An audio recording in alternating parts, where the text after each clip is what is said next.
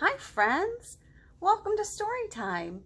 If you haven't been here before, my name is Miss Lisa, and I get to do story times at Worthington Park Library. But for right now, I'm just doing it right ever, wherever you're watching this, okay? All right, so let's see. We are going to talk about a big idea that's hard. It's an easy idea to understand. It's a very hard idea to do. It's not like last week when we were talking about how the globe rotates on its axis and travels around the sun and causes seasons. This week is an easy idea, but it's really hard to live out every day. So I thought that maybe, have you been around the same people a lot? Yeah? Who have you been around? I've been with my kids a lot of the time and I love getting to spend more time with them and we have had so much fun. But also, we have to remember this big idea a lot. And this big idea today is kindness. We're going to be talking about kindness and ways that you can show kindness to the people who you are around a lot right now. And maybe even some people that you don't see very often. All right, so we're going to start with a story. It's an Elephant and Piggie book. You know I love them. And they are by Mo Willems. Um, and it's from Hyperion. So this one's the one we're going to read today. Have you read this one before? I love it. It's Should I Share My Ice Cream?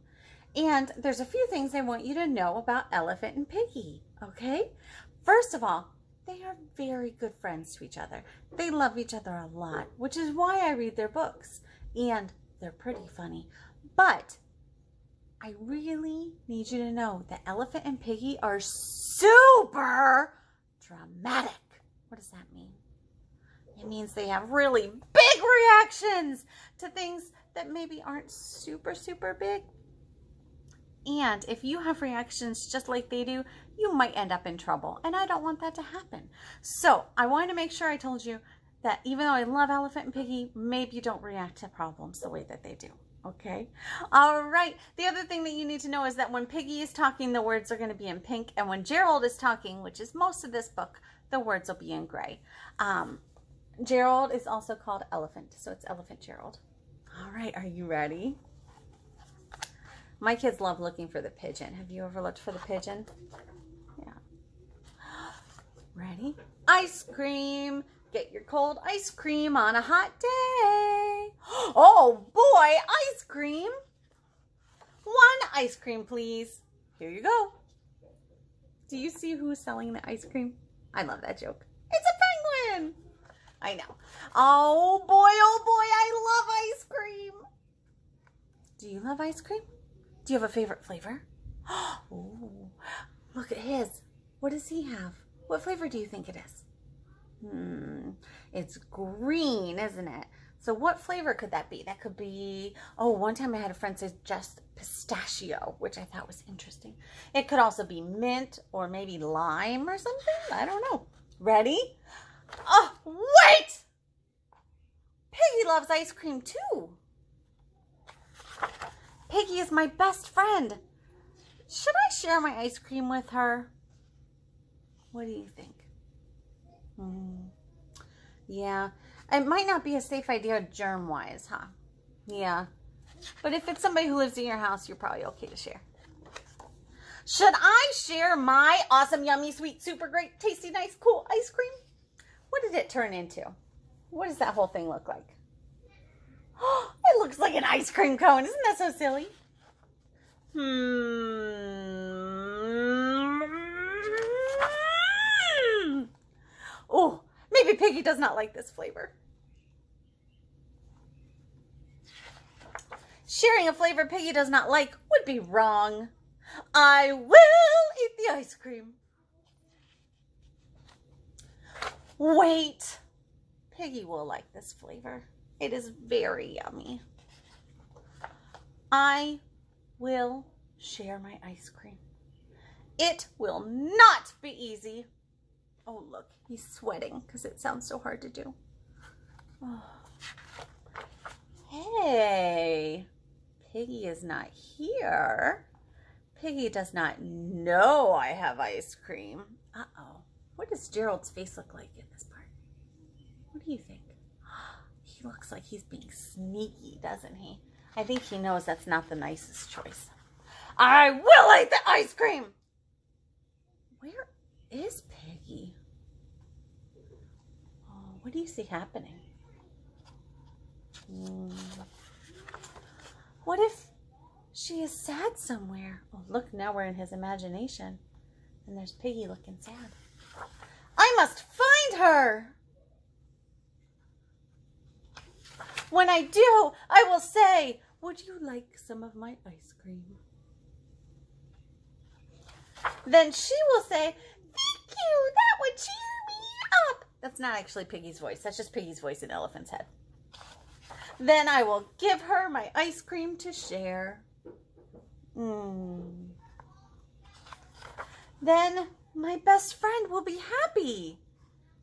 Oh, look at them both so happy. I will do it. I will share my ice cream. What happened to his ice cream? Poor Gerald.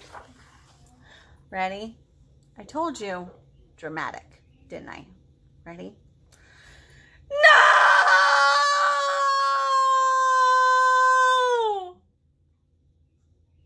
You'd be surprised if my kids don't come running in now.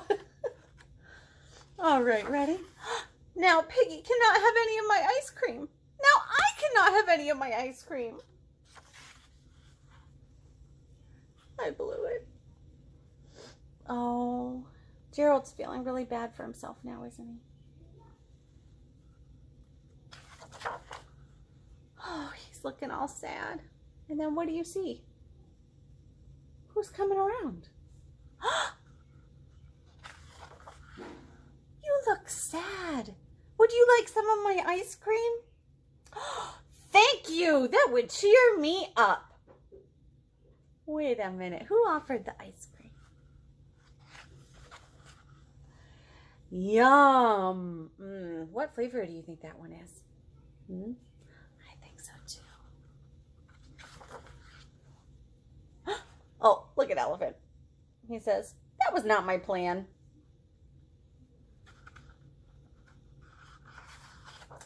Oh well, this works too. Such good friends, aren't they? All right, do you want to try to find Pigeon in the back? Do you see Pigeon? This is a super sneaky one. Where's Pigeon? Do you see him? It's just his head. All right. You did a great job with that story. I know Elephant and Piggie books are a little bit long, but I love them because they're one of the earliest books that you can start to read on your own, too. Mo Willems does a really great job of using words that you can figure out by sounding them out with the letters. All right. All right, you did a great job with that story, friends. Now we're going to do a song that involves moving our fingers a little bit. Are you ready? We're going to start with them behind our backs. Where'd they go? And we're going to start with coming out from the left. I'm going to do the opposite so you and I will be on the same side. Are you ready? All right. One from the left and one from the right. Met in the middle and danced all night. They made up a dance called a Whoop-De-Doo. Just like you're saying Whoop-De-Doo. Good job. Then they said goodbye and walked away. Those two Good job. This is a Jim Gill song. We're going to keep going with, we just did one. Now we're going to do two from the left and two from the right. Met in the middle and danced all night. They made up a dance called Snips Galore, just like scissors. Good job. Then they said goodbye and walked away. Those four all right, so now we're going to do one, two, three from the left and three from the right. They met in the middle and danced all night. Good job. They made up a dance called Finger Mix. Gonna put them together. Good job. Then they said goodbye and walked away. Those six. Good job. One, two, three. Four from the left and four from the right. They met in the middle and danced all night. They made up a dance called bend and straight. Can you do that? Then they said goodbye and walked away. How many? Those eight. Good job. Oh, we've done one, two, three, four. What's going to be next? Five from the left and five from the right.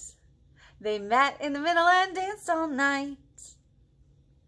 They made up a dance called clap and clap and clap and clap again. Then they said goodbye and walked away. Those ten. Good job. We got all 10 of our fingers in on that one. All right. Thank you to Mr. Gill for letting us use his music. He said we can use it however we want in story times, which was so nice. All right, we're going to do another story. This one is called The Cow Loves Cookies, and it's by Karma Wilson. She was one of the first authors to say that we could read any of her books. All right, are you ready? Oh, I love this one.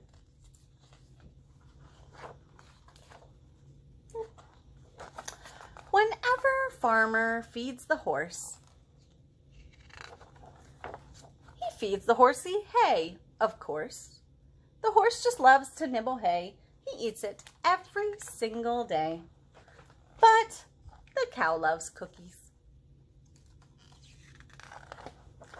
Farmer knows what chickens need. He always gives them chicken feed.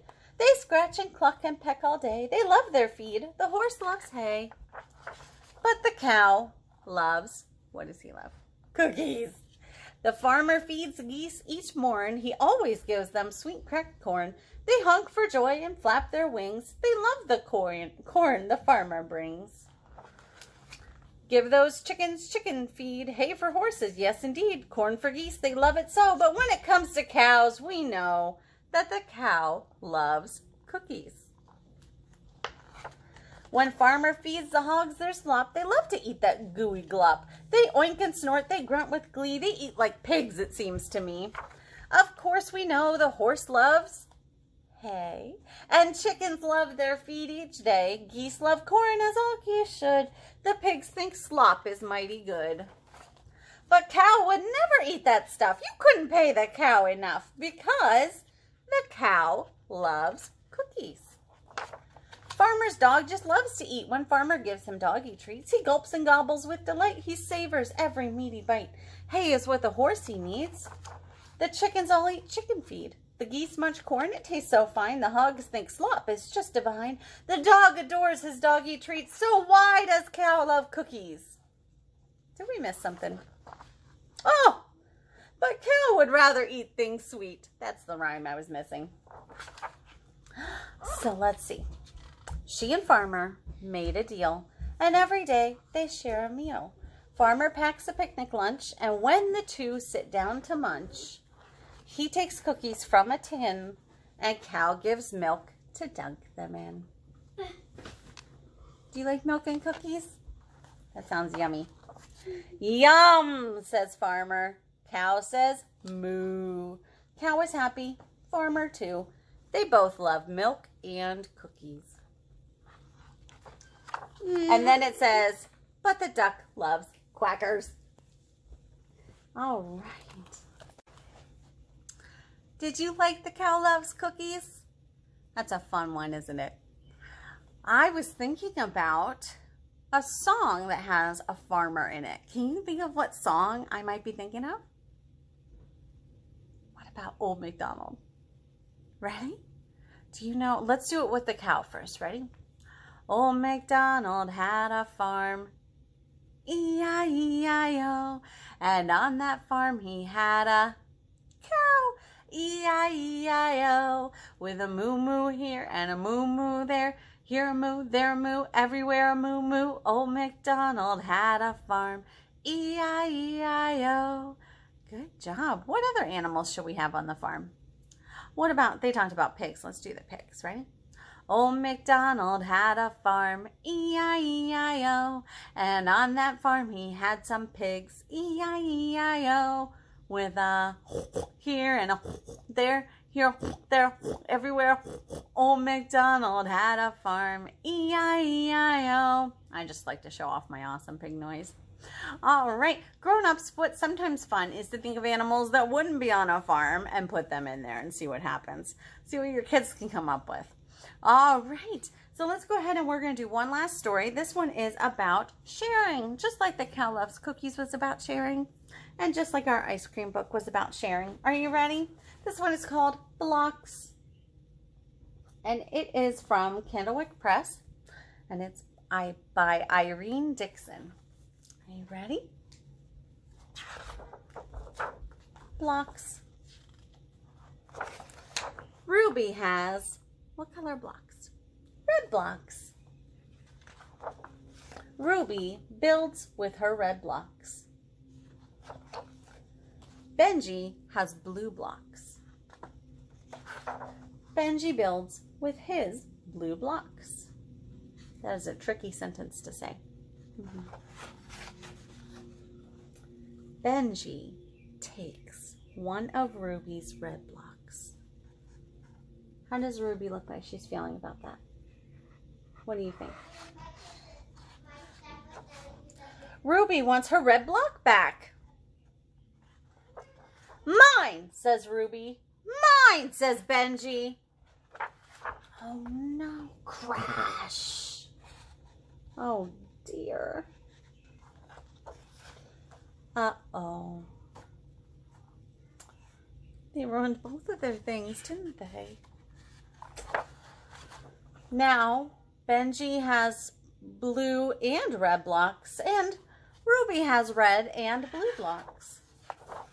Ruby and Benji build with the red and blue blocks together. Look at how much bigger it can be when they build together. Because now they have a lot more blocks, don't they? guy has green blocks. What do you think is going to happen? What should they do? Look at that. I think they decided to build together. What do you think? All right. That was blocks. Very nice job. All right. I was thinking about ways that we can put what we're learning today into practice. One of the obvious ways is that we can share our toys with someone else. So you can share with your brothers and sisters or your moms and dads or your puppies or your kitties or whoever's around you. Okay? All right. So that'll be one of the things you can work on is trying to make sure that you are sharing what you have with the people around you. I was also thinking it might be nice to make cards for some people. Uh, you can make cards for the people in your house, or you can make cards and deliver them to your neighbors or things like that. I also thought it would be really nice and very kind to make a picture for someone who takes care of you. So a lot of us, we can't make our own meals all the time. We sometimes need a little bit of help getting dressed or getting ready for the day. So make a card for the person who does that for you. I bet they'll really appreciate it or draw a picture for them. The other thing I was thinking that you could do is that when you go for a walk, you could write a nice note on your neighbor's driveways with some chalk that'll wash off easily. So you can write or draw a pretty picture for your friends as you walk around. That's one of the other things I was thinking of. Oh, I also thought since we were reading that Cow Loves Cookies, maybe you and the grown-up could bake some cookies together. That would be lots of fun. And did you know that when we're baking together, we're working on a lot of our math skills and our direction following, our listening skills. Yeah, and we're starting to work on our reading because we're following the directions. There's a lot of great skills involved in baking something together. So you can work on baking something together with your grown-up if they have time. I also thought it might be nice to make a list of ways that you can show kindness along with your grown-up. So if you can think of the ideas and then your grown-up can write them down or you could start to sound them out and write them down, that would be fantastic. Because I want to hear what you can think of for being kind. Okay, well, I think that's all I have today. I hope that you're having a wonderful day. And I had so many great books about kindness that guess what we're going to talk about next week? Kindness again. It's a big idea. We have to work on it a lot. All right. I hope you're being kind to each other. And I look forward to getting to see you soon. Thank you for watching Story Time. Take care.